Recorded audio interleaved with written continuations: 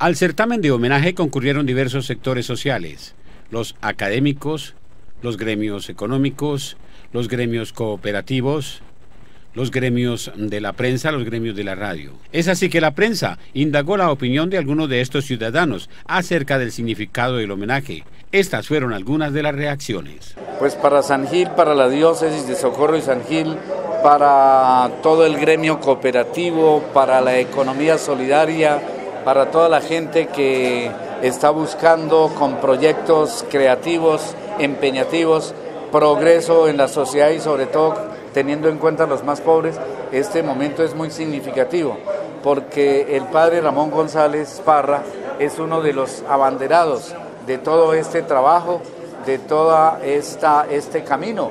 Imposible no estar presente acompañando al querido Padre Ramón en este homenaje que le rinde San Gil y la pastoral social.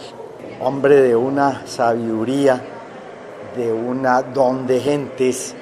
Eh, compartimos con él una cosa muy bonita que fue el Club Rotario. Él fue presidente de esa entidad y yo era un, fue un, un excelente rotario. El rotarismo ustedes deben saberlo se trata simplemente de dar de sí antes de pensar en sí.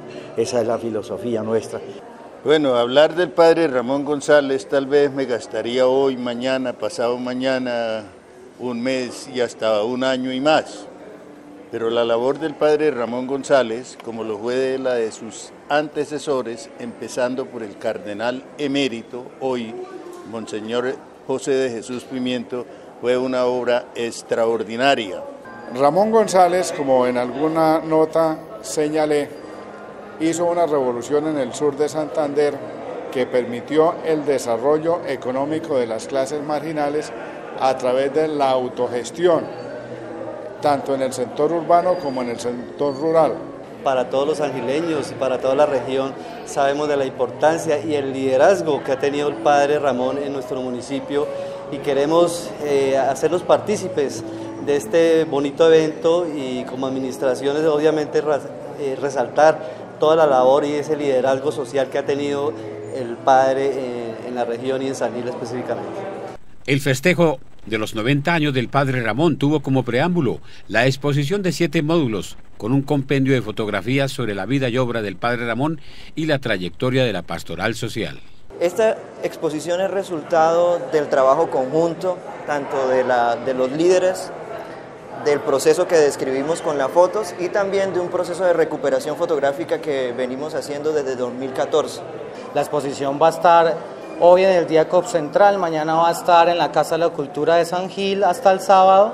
El sábado estaremos en Charalá en un evento que se realizará en el atrio de la iglesia, posteriormente pasará a la Casa de la Cultura y luego eh, todavía estamos como concretando un poco los espacios la idea es poder llevar esta exposición también a Mogotes, a Villanueva y a Socorro.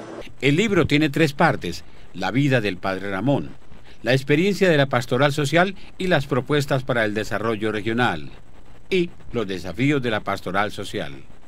600 ejemplares fueron editados para ser difundidos.